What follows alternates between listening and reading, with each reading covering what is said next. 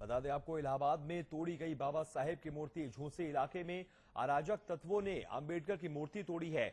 घटना की सूचना पर मौके पर पुलिस पहुँची और जाँच में जुट गई। घटना से स्थानीय लोगों में भारी गुस्सा है, आक्रोश है। मूर्ति तोड़ने से गुस्साए लोगों ने प्रदर्शन तक किया है। इलाहाबाद के झूसे इलाके में अराजक तत्वों ने अंबेडकर की मूर्ति को तोड़ दिया। देख सकते हैं आप तस्वीरें। और इस घटना से स्थानीय लोगों में भारी गुस्सा है। लोग नारेबाजी कर रहे हैं।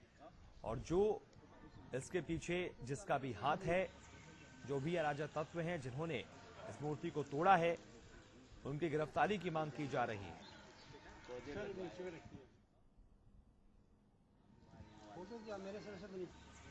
सीएम ने भी गंभीर रुख अपना लिया है और एसपी डीएम को आदेश दे दिए हैं कि सख्त रुख अपनाया जाए, कार्रवाई की जाए, तस्वीरें देख सकते हैं आप। गुस्साए लोग हंगामा कर रहे हैं। कार्रवाई की मांग कर रहे हैं, गिरफ्तारी की मांग कर रहे हैं, जिसने भी इस कुकृत्य को अंजाम दिया है।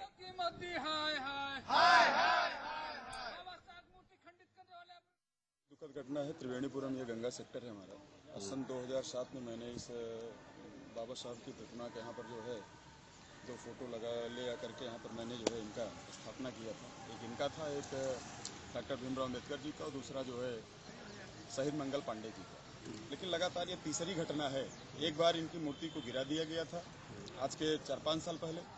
उसके बाद फिर इनके अंगुली को तोड़ा गया था और आज जो है इनके गर्दन को। ये किसी उपद्रवी, किसी लड़ाने वाले व्यक्ति का एक काम ये किसी संगठन का या किसी पार्टी से रिलेटेड ये मामला नहीं है।